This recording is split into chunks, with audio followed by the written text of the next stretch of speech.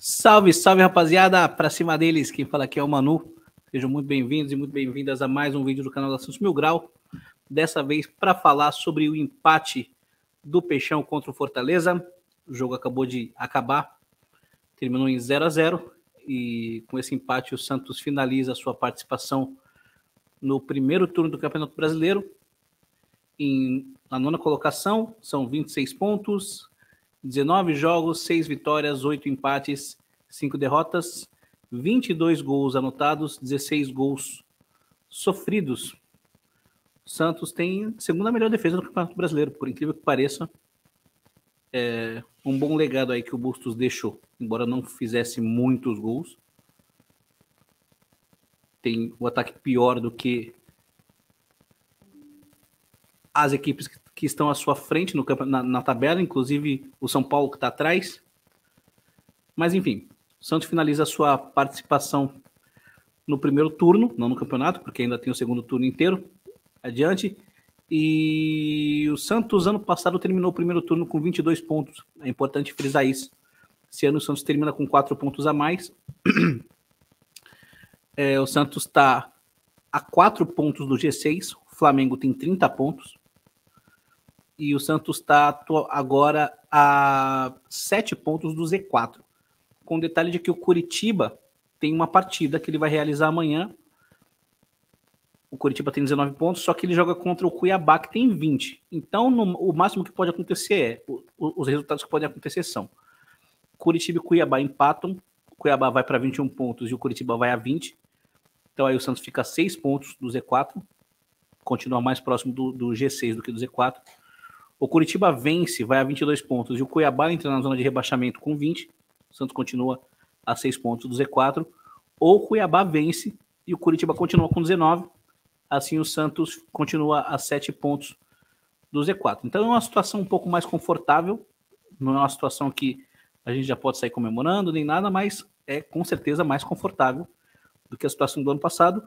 Situação do ano passado que não foi suficiente para rebaixar o Santos. Então, a gente pode respirar um pouquinho mais aliviado no final desse turno. Ah, como todo mundo sabe, foi a estreia do Lisca. E, bom, espero que vocês não me levem a mal pelo, pelos comentários que eu vou fazer. Eu não esperava algo muito além disso numa estreia, uma estreia. Ainda mais o Santos jogando fora de casa, não é um time que vinha jogando bem fora de casa. É, já deu para notar algumas coisas. O, o, o time já tenta assimilar alguns conceitos e isso demora um pouco de tempo. A boa notícia a respeito disso é que acho que nas próximas quatro rodadas o Santos só vai ter jogo aos, fins, aos finais de semana, né? Então o Lisca vai ter tempo para trabalhar. Mas de fato eu não esperava um, um, uma partidaça do Santos. Poderia ter, ter feito melhor em alguns aspectos, mas ao meu ver, quem teve as melhores chances para matar o jogo com certeza foi o Santos, principalmente no segundo tempo. O Santos foi a campo com o gol, Madison, é, Alex e, e Bauerman na zaga e o Felipe Jonathan na lateral esquerda. Foi com Fernandes e Camacho como volantes e o Bruninho como meio-campista. Léo Batistão pela ponta direita, o Marcos Leonardo centralizado e Lucas Braga pela ponta esquerda. E aí você pode encarar esse, esse, esse, esse estilo de jogo como um, um 4-3-3 ou até como um 4-1-4-1 sem a bola. O Santos meio que defendia um 4-1-4-1 com, com, com a linha dos quatro defensores. O Fernandes à frente da linha, entre as linhas dos quatro defensores e a linha com Batistão, Camacho, Bruninho e Lucas Braga, e o Marcos Leonardo adiantado. Uh, deu para notar também, além das, das, das escolhas da escalação, que eu discordo, do Camacho voltar à titularidade e o Ângelo ir para o banco, tanto que o Ângelo entrou, deu muito mais movimentação.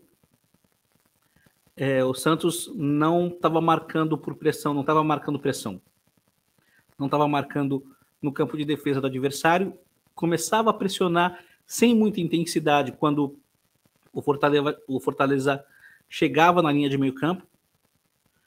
é, era uma marcação mais por zona, né, mais posicional, e isso deixava o, o Santos muito bem espaçado, os jogadores do Santos muito bem distribuídos no campo todo. Não dava muito espaço para o Fortaleza trabalhar a bola. É, por outro lado, dava mais a bola para o Fortaleza. O Fortaleza tinha mais a bola, só que não amassou o Santos. No primeiro tempo não amassou o Santos. Foi um, foi um primeiro tempo bem ruim, para falar a verdade, né? Bem ruim. Os dez primeiros minutos, nos dez primeiros minutos, o Santos praticamente só se defendeu e tentou bolas longas para o Marcos Leonardo, para o Batistão e para o Lucas Braga. E o Fortaleza mostrou pouquíssima eficiência no ataque.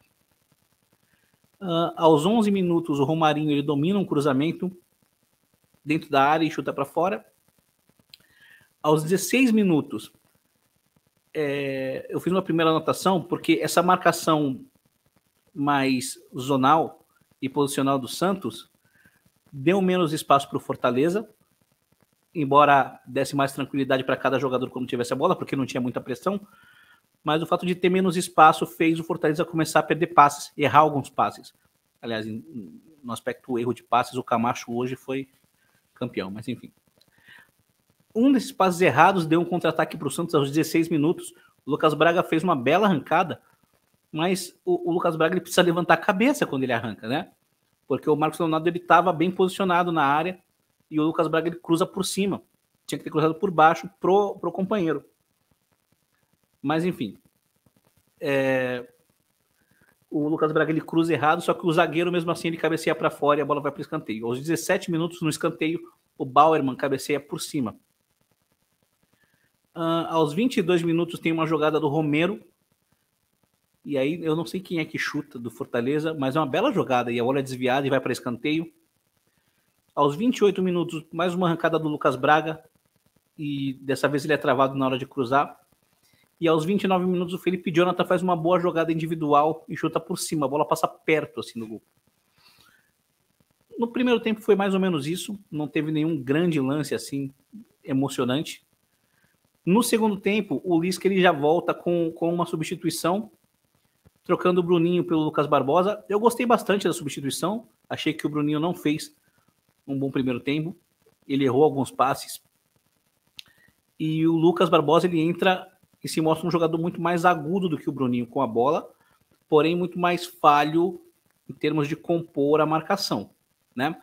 Com a entrada do Lucas Barbosa, o jogo, o jogo fica muito mais aberto e o Santos começa a ter algumas chances em contra-ataques. Aos sete minutos, o Marcos Leonardo recebe um passe do Lucas Barbosa e chuta em cima do goleiro, para a defesa do goleiro.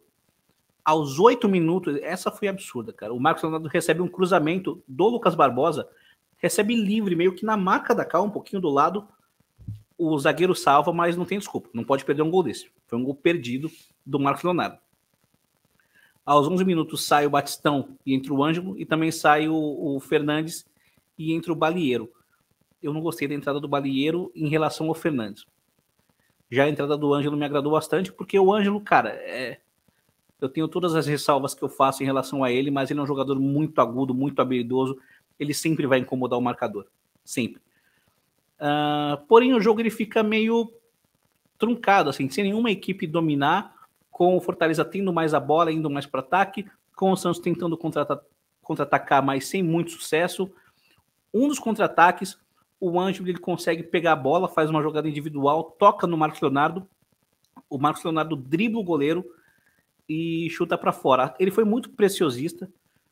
Talvez ele nem precisasse driblar o goleiro, poderia ter chutado direto. Uma vez que ele driblou o goleiro, ele poderia ter olhado para a área, porque ele já tinha vencido o goleiro, ele podia tocar para trás e errou mais uma vez o Marcos Leonardo. Não foi uma boa partida dele.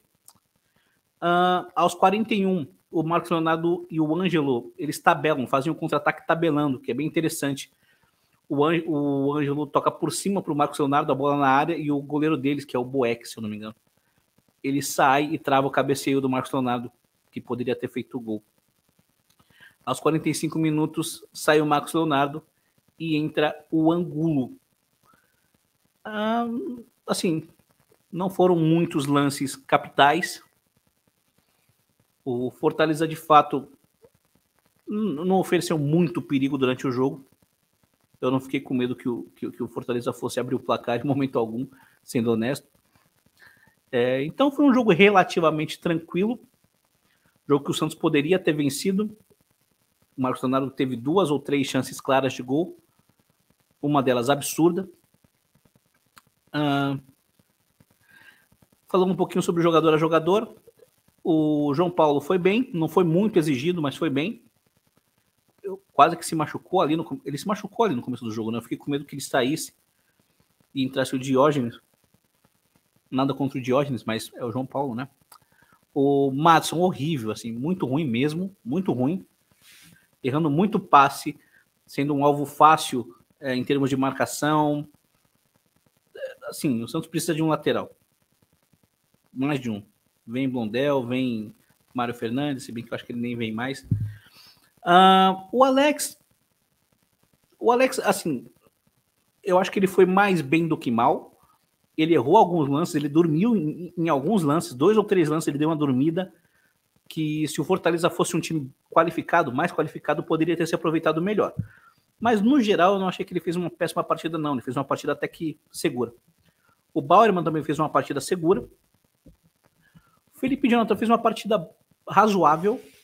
No primeiro tempo ele foi bem, no segundo tempo ele deu mais espaços.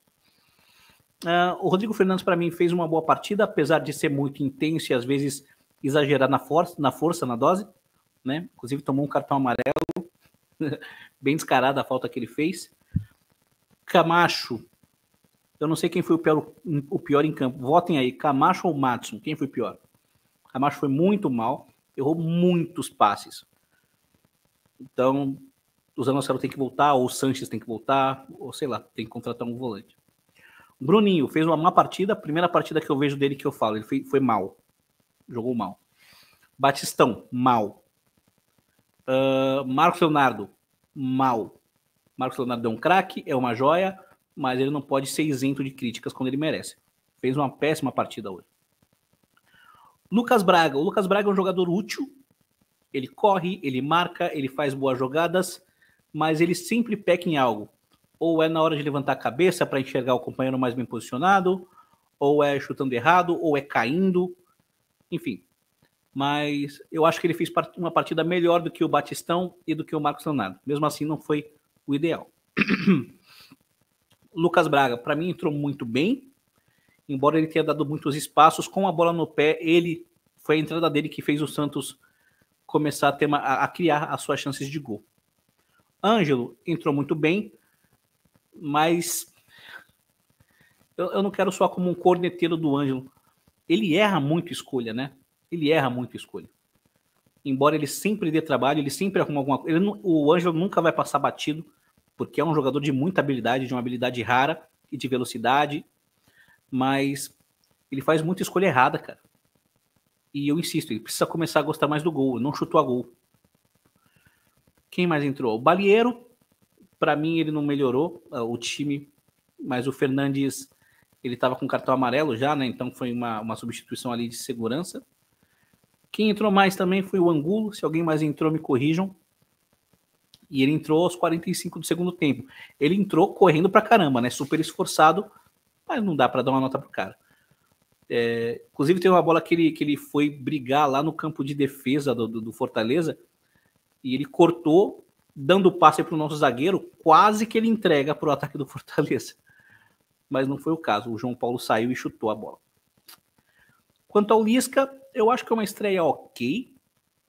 É uma estreia ok, não é uma estreia maravilhosa, mas definitivamente não é uma estreia ruim. O fato do Santos não ter feito um jogo assim trágico já é um ponto positivo. O Fortaleza está na última colocação, mas esse time do Fortaleza é melhor do que os times que estão na zona de rebaixamento. Muito do, do, do Fortaleza estar tá na zona de rebaixamento se deve ao fato dele ter priorizado a Libertadores. O Fortaleza foi até as oitavas da Libertadores, né? Caiu nas oitavas e agora tenta se reerguer. Mas vai ter um segundo turno bem complicado.